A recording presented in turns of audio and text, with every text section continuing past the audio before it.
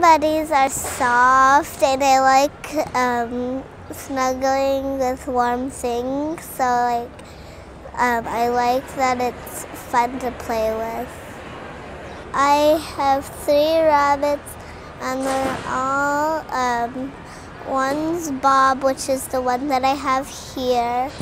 The others are Cream Bell and Nibbles.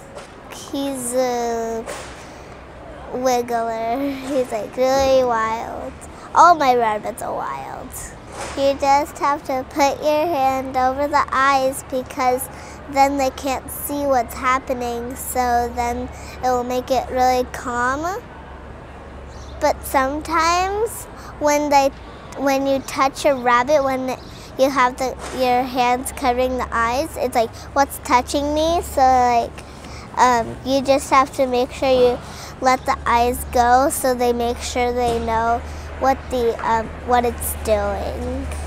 My dad taught me about how for rabbits to make babies. He taught me how to hold a, a rabbit, like hold them with the ears.